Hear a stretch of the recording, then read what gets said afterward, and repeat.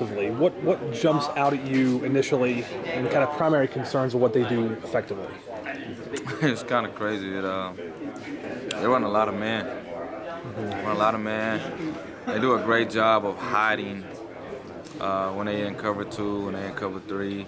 Uh, they do a great job at it. You really can't tell until the ball is like snapped at the last minute. So uh, they do a great job of disguising things. That's the biggest thing that stands out for them. And they're very aggressive, very aggressive. How do you go about using that against them? Then I mean, obviously you have to win the one-on-one matchups on the outside. Is there anything you can do to counter the aggression a little bit? Uh, Use that against them? Well, aggression versus technique. Technique wins every time. Uh, you know, and, and it's a to me it's a great thing for my guys. We haven't really seen man at all this year except in practice, and uh, now they have an opportunity to, to showcase what they can do against man coverage. I heard a couple people saying before, you know, what happens if a guy step in this guy face or step in that guy face. Well, we'll find out.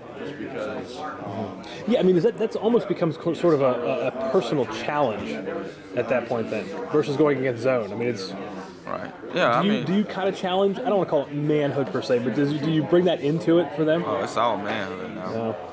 They they know what to do to to break down man coverage.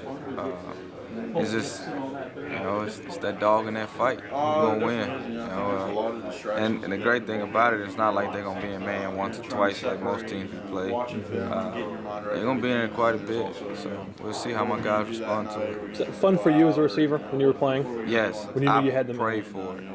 I pray for it. You know, uh, hopefully they praying for it too. My guys praying for it, so we'll see.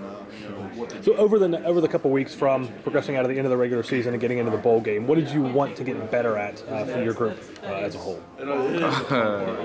getting their legs back on them, getting healthy, healing up. Uh, it was, you know, it was a long season, and you know, those guys played a ton of snaps. And, you know, they they was wearing down, and got to a point where they can get their legs under them, and you know, everybody looks really fast right now, which is really good. Uh, and uh, that was my biggest thing, just getting them mentally and physically together.